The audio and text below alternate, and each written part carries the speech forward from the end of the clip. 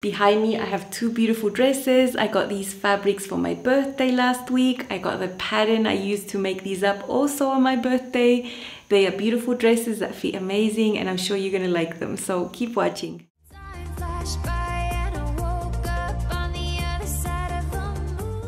Hi sewing friends, my name is Karina from liftingpinsandneedles.com.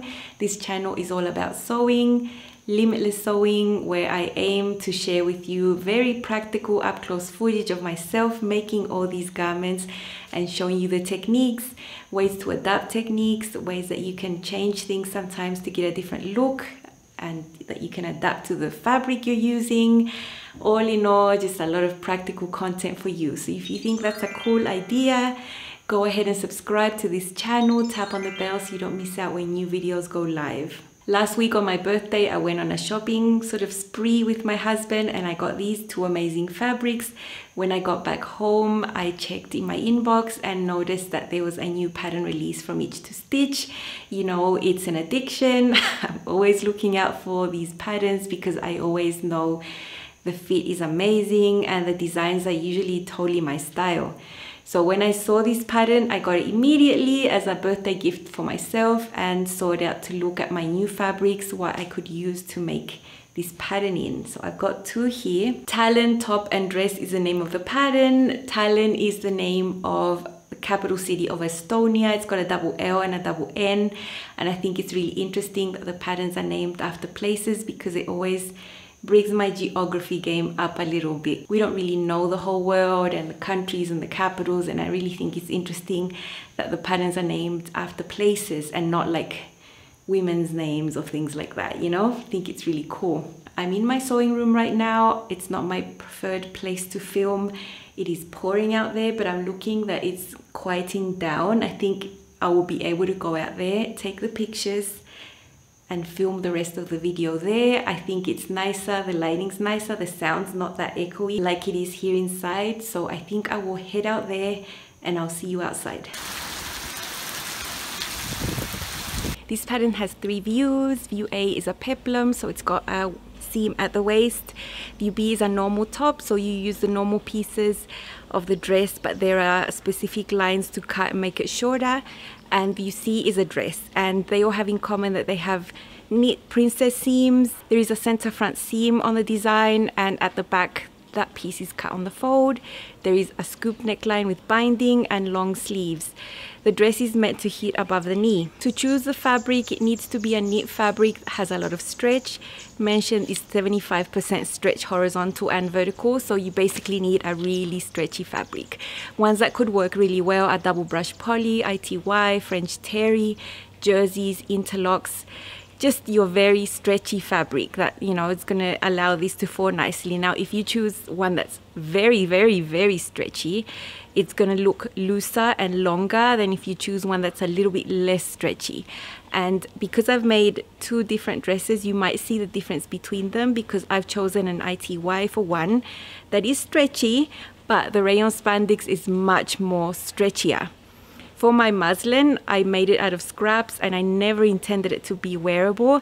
That is a Ponte Roma and that does definitely not have 75% stretch. But my main goal was to check for the shape of the, of the princess seam to make sure that was following my body.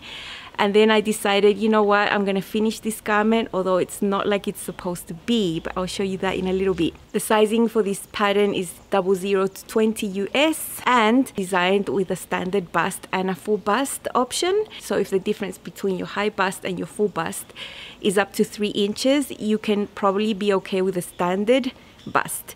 And if it's three inches or more you can use the full bust. Now my difference is three inches. Taking into account that I am a C cup and that I usually fit standard bust sizes I never have to do a full bust adjustment or anything. I cut my muslin with a standard you know bust front so I could see the feet. so basically the side front and the center front will be two different pieces than the ones with the full bust. Those will be separate. And in the instructions you'll find really detailed what pages you need to print for what so you don't have to print things that you don't need in the pattern. So the construction of the dress was extremely easy. In a few steps shoulder seams princess seams front and back you do the neckline and then you put your sleeve in the flat and then you sew the side seams including the sleeve seam in one go at the end and then you hem your sleeve and your dress or your top. Very simple. So in Up Close and Sew Personal, I haven't focused on general construction. There are notches to guide you and if you've never done a princess seam, this is a very easy one to do. It's a neat pattern, you know, you're not easing things into anything. Everything fits perfect and there are notches there to guide you. I'm going to give you an inside look at my muslin how I'm going to drop this neckline on the dresses. I've kept the muslin with the original neckline and I've done three different neckline finishes to share with you. The first one is a technique explained in the pattern. It's super, super elegant, super elevated look. I love that. And then the other two are just different ways I like to finish necklines, just different ways. And I'm gonna show you those three in this following clip. So let's hop into the practical sewing.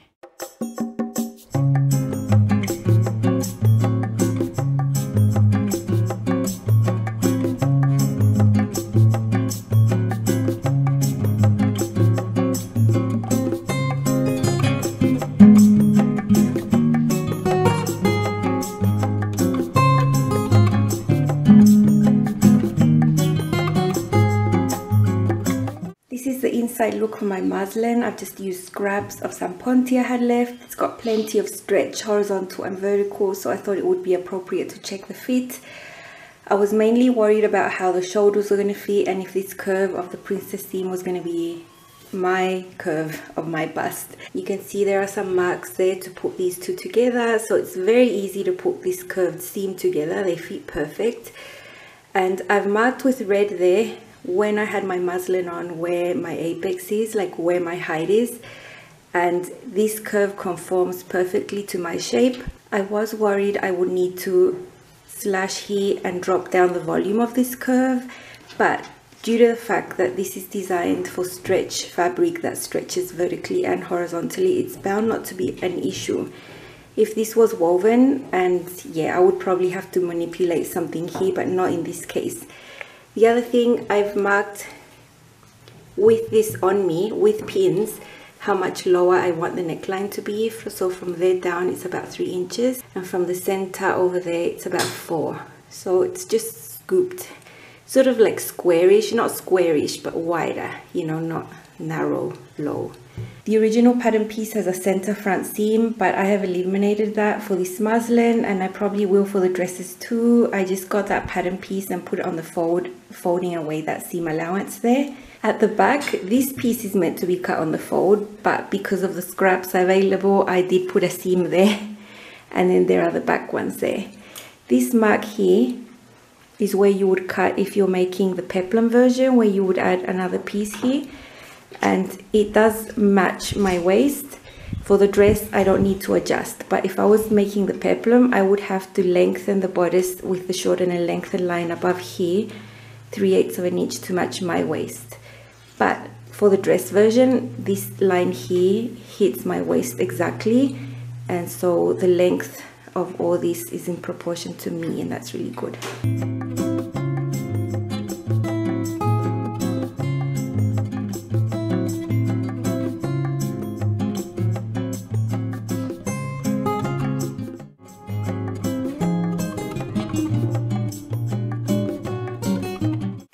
Pattern piece that's going to finish the neckline and I've just cut it on the fold as instructed and now you're meant to take the short ends together, put them together and then sew that with 3 eighths of an inch. I have finished one of the sides because it's going to be left in the inside so I've serged one of the long ends and the other one's raw. That's the one that's going to go onto the neckline. I've sewn this together. You can see the 3 8 seam allowance there. I've just finger pressed this open. I've divided this in four.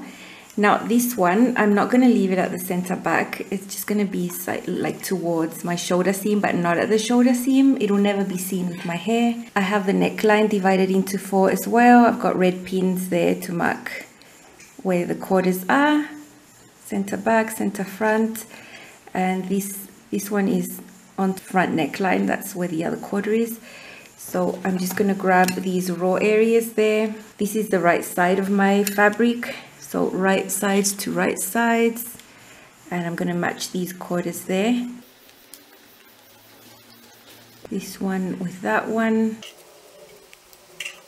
Now this neck piece is drafted to be just slightly smaller than the neckline just slightly not that much I calculate it to be about 92% but you see I'm going to change that percentage in the other versions I make where the fabric is thinner.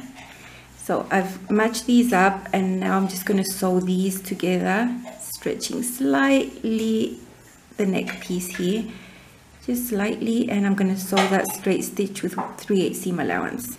You can see the seam here is towards the back neckline and I think it will be more discreet there this is the shoulder seam that needs to be pressed towards the back, so I've made sure it's heading that way.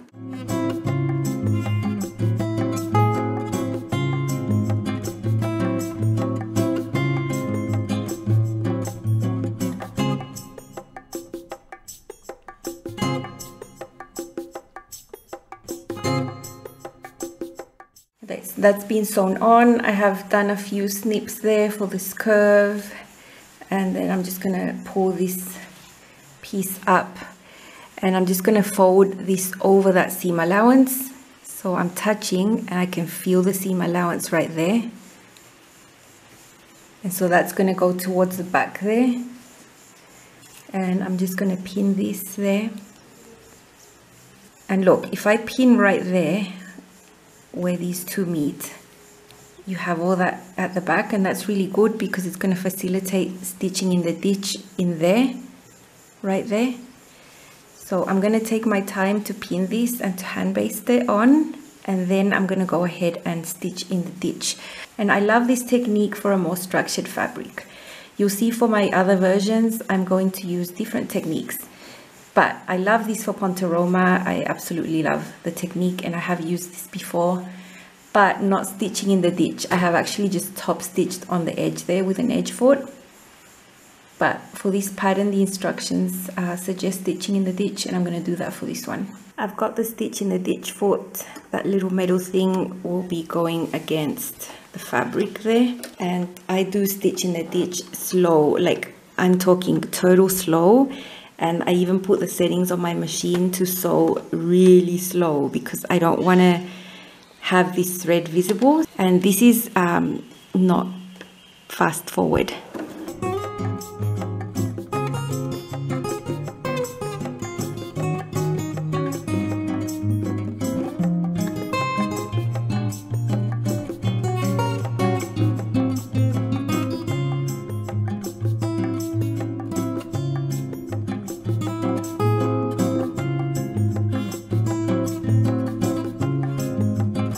I basically want to see where each of the stitches is going to go through with the needle and I want to manipulate this so I don't have any errors. And I'm just going to take my time and do this and I'll show you how it looks like when I'm done all the way around. I've stitched in the ditch and you can't even see it. I mean, it is in the ditch right there. So it's worth it to take your time.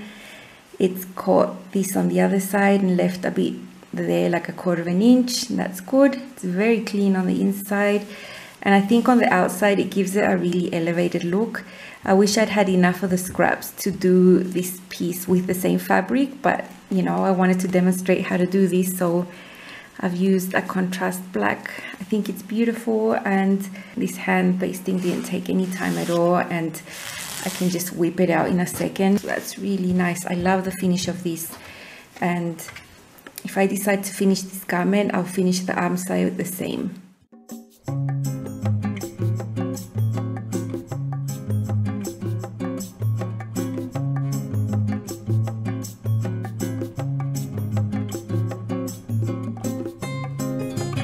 After having measured my new circumference around there, I want to finish the neckline with this leather look jersey that I've used in the past. I've done this technique with the Isidro top last year made out of lace because this knee is quite structured.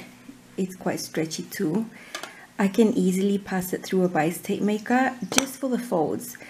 This is a jersey so it's not cut on the bias, it's just cut normal like you would any other neck binding or neckband or anything on needs not on the bias so this is the one that says 18 at the back that's that means that the finished width of this after being double folded is going to be 18 millimeters wide.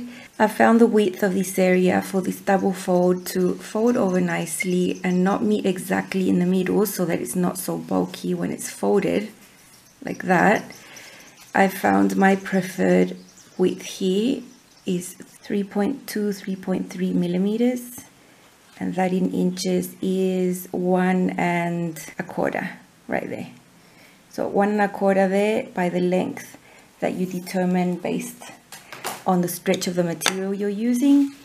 Like this ITY is super stretchy, right? But this isn't ITY. This isn't as stretchy as ITY. So I have calculated 90%. I've got my binding right sides together with the dress. You can see the shiny side is my right side because that's the one I want to be seen. You know, you could use the opaque side, but I want the leather look binding thing there. So I've corded that, divided into four, and then done the same to the neckline. The neckline is bigger, of course, and I'll be stretching the binding to match the neckline as I sew with a straight stitch. And I'm just going to be sewing on the first fold there that I managed to press with my bias tape maker. And I just wanted it for the neat folds, you know. So I'm just going to be using a straight stitch for that.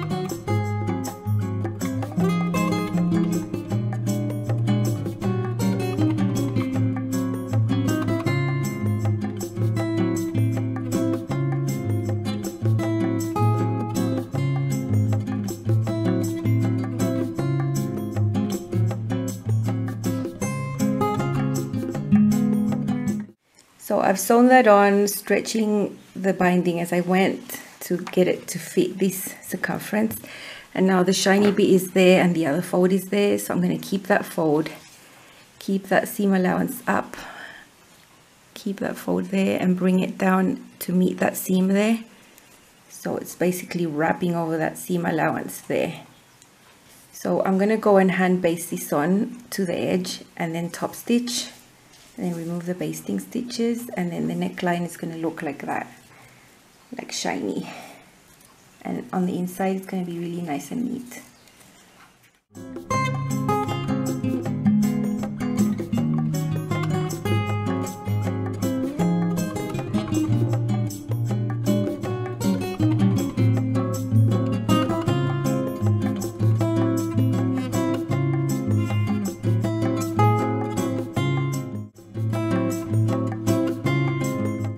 the rayon dress, I'm just going to sew a regular neckband onto the edge of the neckline. So I'm not going to do any special binding technique.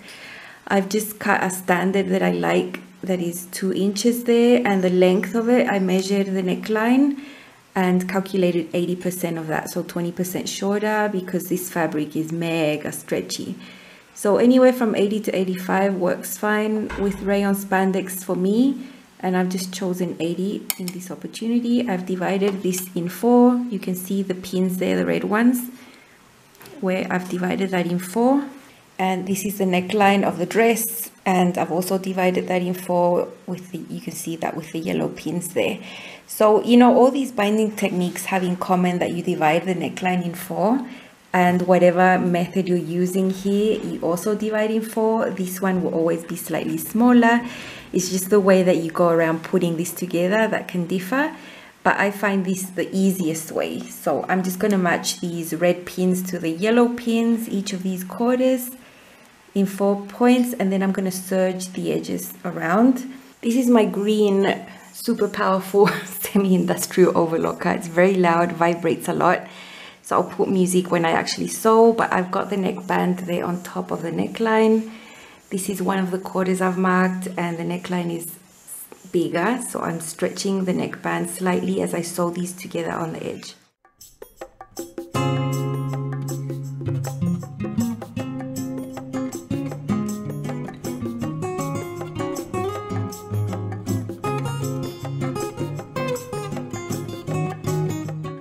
Goal of this serger is to finish edges and it's a three thread so it's not strong enough to hold the neckband just like that in my opinion that's why I always go in and sew at a quarter of an inch with a shallow zigzag stitch just to reinforce that the zigzag stitch will allow this to stretch but I wouldn't just serge something and just leave it. And that's due to my serger uh, and I love it, but it's just for finishing seams. I'm, I'm not using it to sew a knit garment as such. I use my domestic sewing machine as well. If you had a different serger, then you would sew on the neckband and that would be it.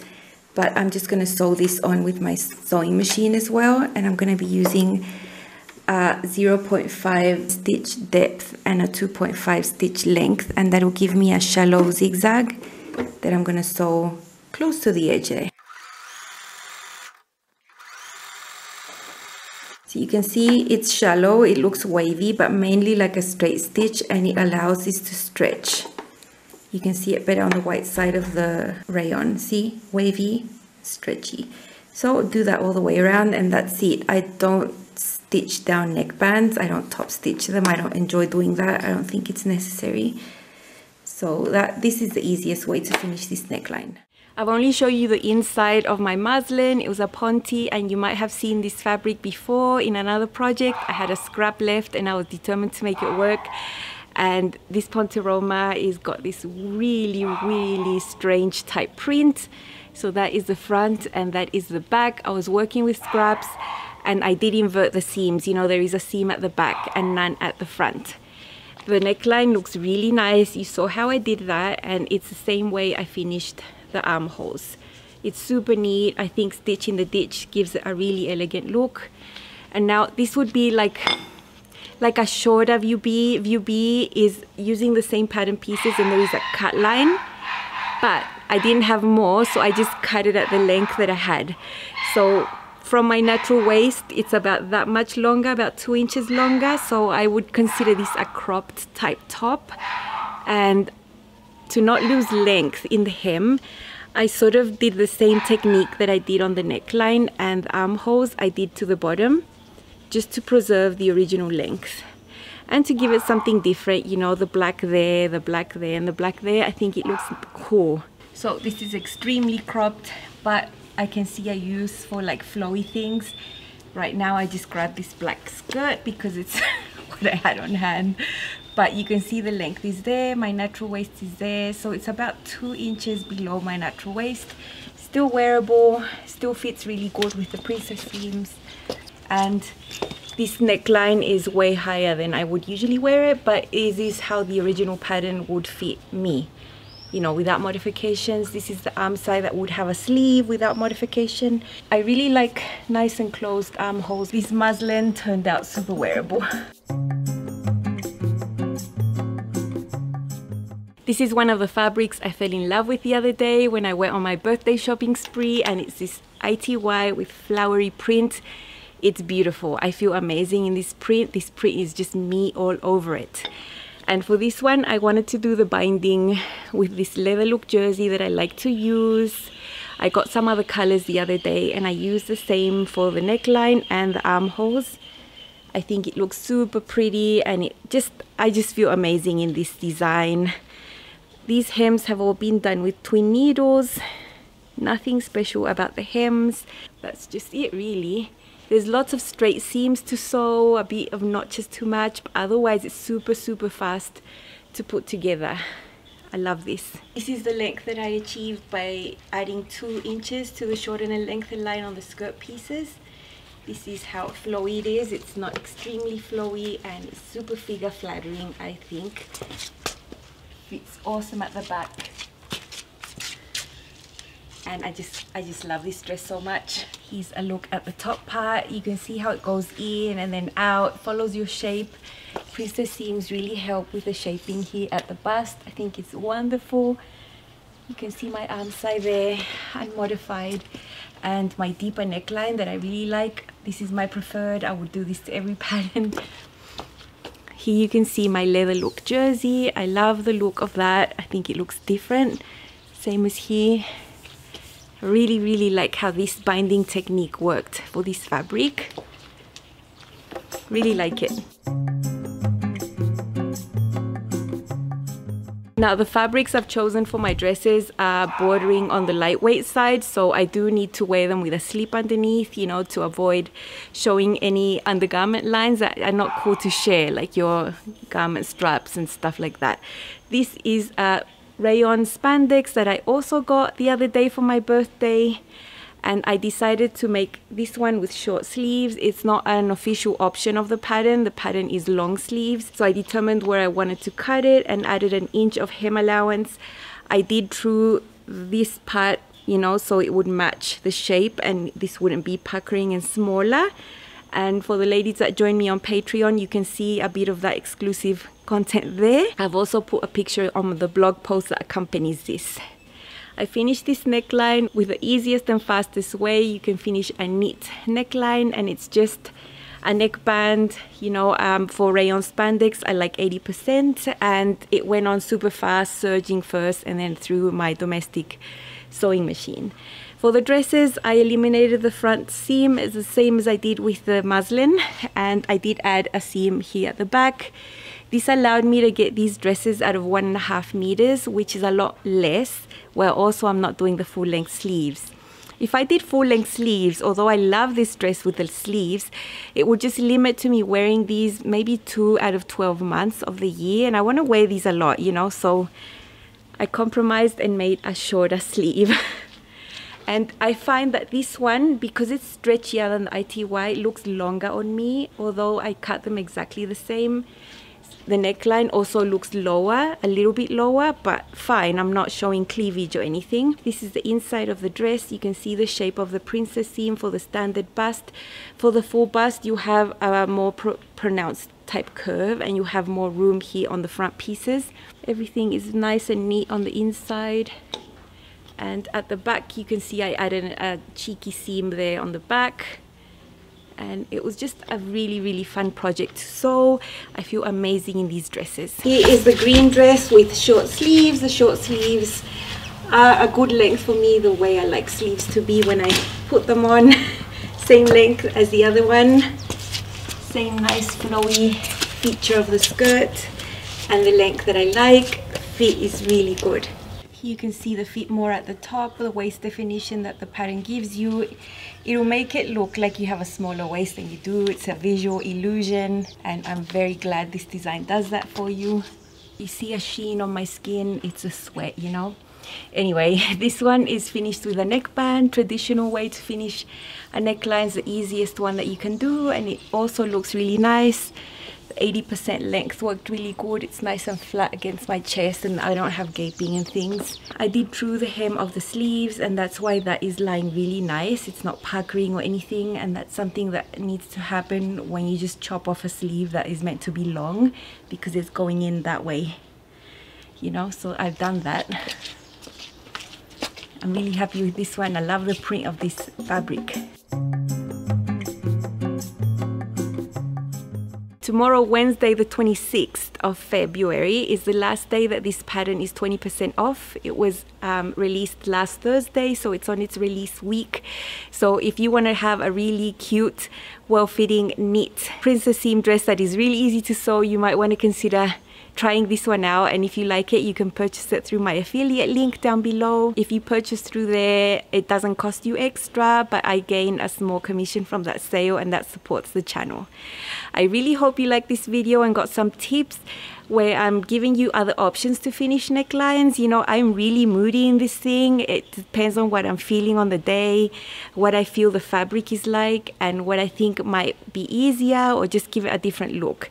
So that's why I've given you all these practical options there for you to choose. Thank you so much for watching and I will see you very soon. Bye!